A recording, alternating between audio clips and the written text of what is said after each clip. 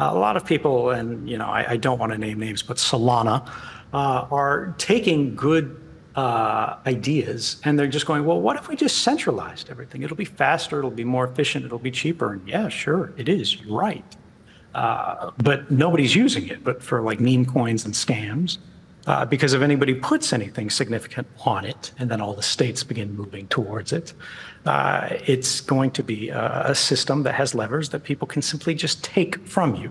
You have to be thinking for the adversarial case, uh, as opposed to the convenient, easy, early case. Another concern um, by the community is that Solana is centralized. What are your thoughts on that? Can you define that in some objectively measurable way? so that's the follow up question. When people say that, they're unable to say what exactly makes it centralized. So when you actually measure it in any objectively measurable parameter, it's oftentimes better than Ethereum, and in some ways, like maybe at most only half as good. So like number of validators on Solana is like 3,000, Ethereum is about 6,000. Uh, so you can look at the Nakamoto coefficient. I think on Solana is like 23. I think it's uh, 20 on Ethereum. This is like the minimum number of operators that it takes to shut down the network. And it's a liveness failure. It's not like a failure to safety. So the way that uh, the real physical, like, I, I, have this meme that like economic security is a meme. Like this is what I, talk about on Twitter all the time. And this is because the security of the network really comes from the full nodes.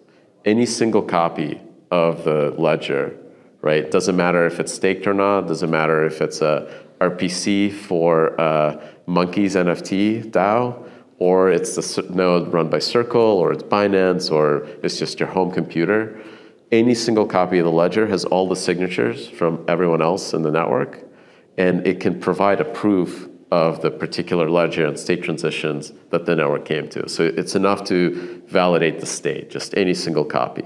So that large number of validators on Solana, about 3,000, any one of those that survives an attack, that's enough, like one, any one of them, right? This is what really gives the network security for safety.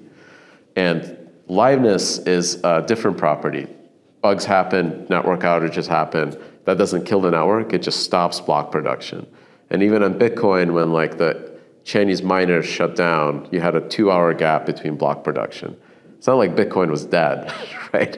It just literally didn't make blocks because of how Bitcoin is configured, because of how Solana configured is configured. If there is congestion that blows up the network, all the nodes basically halt. They stop making blocks. So safety is not touched, but like liveness, you can have impact. So Nakamoto coefficient is the minimum number of operators that could halt the network. Uh, but that doesn't mean that the network can restart. You literally can, any single copy can be used to restart it.